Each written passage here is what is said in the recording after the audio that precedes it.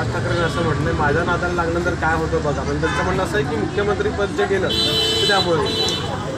मनसेचे अध्यक्ष राज ठाकरे यांच्या मागच्या अनेक वर्षापासून पाहतो आहे मी की केवळ मोठमोठ्याने डराव डराव करायचं आणि आपली कुठे ना कुठे पोळी भाजून घ्यायची त्याच्या पलीकडे काय होत नसतं. त्यामुळे त्यांच्या नादाला लागून कोणाचं मुख्यमंत्रीपद जातं जातं असं जर त्यांचा भ्रम असेल तर तो भाबडा भ्रम आहे.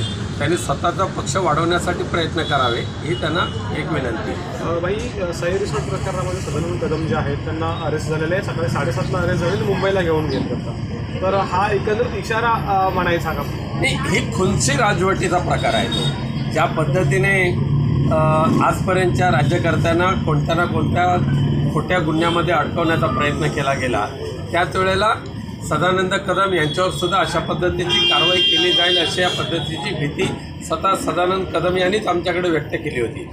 सदानंद कदम यांनी ज्या अत्यंत तन मन धन अर्पण करून एक जबरदस्त ताकदीने खेडचा शिवसेनेचा मेळावा यशस्वी करण्यासाठी जो प्रयत्न केला होता साहजिकच आहे सख्या भावाला सुद्धा न जुमानता त्यांनी शिवसेना उद्धव बाळासाहेब ठाकरे या पक्षाची एकनिष्ठता राखून एवढा मोठा मेळावा यशस्वी केल्यानंतर शिंदे आणि देवेंद्र फडणवीस यांची नक्कीच त्रेदा तिरपट झालेली आहे.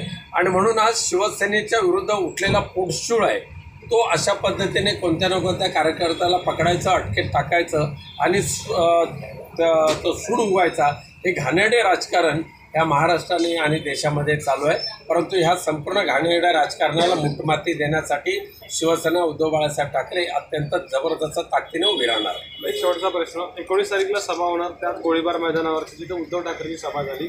आणि आम्ही प्रत्युत्तर देऊ आणि गौप्यस्फोट करू असा देखील दावा केला रामदास कदमांची फेफडी आम्ही अनेक वेळा ऐकलेली आहे. म्हणजे प्रत्येक वेळेला बंडखोरी करणे करायचं बेईमानी करायची कृतज्ञपणा करायचा त्याचा म्होरक्या रामदास कदम असतो.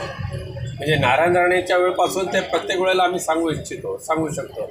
आणि त्यामुळे अशा घाण खाऊन उठलेल्या माणसाला आम्ही किंमत देत नाही आहे नेहमीप्रमाणे महामते मोठी सभा घेतील निम्मीपेक्षा जास्त खुर्च्या रिकाम्या राहतील ही आजपर्यंतची त्यांची परंपरा त्या गोळीबार मैदानामध्ये सुद्धा राहणार